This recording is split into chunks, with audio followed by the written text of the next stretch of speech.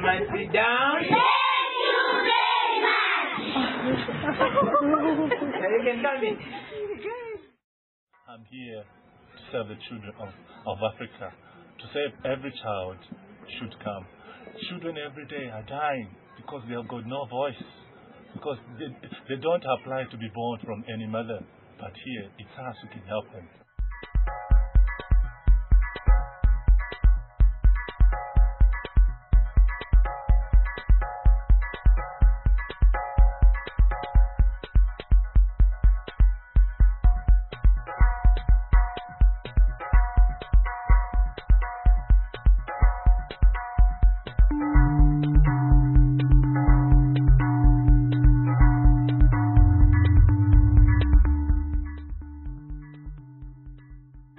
Biggest change or what I've gained from Africa is the meaning of Africa to me.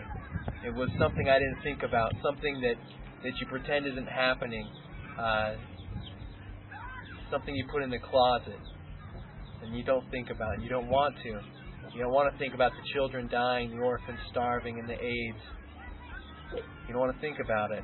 But since I've been here, and since since we've been able to do just just a little bit, uh, the meaning has changed. Africa's come from a place that I don't want to think about to a place of hope.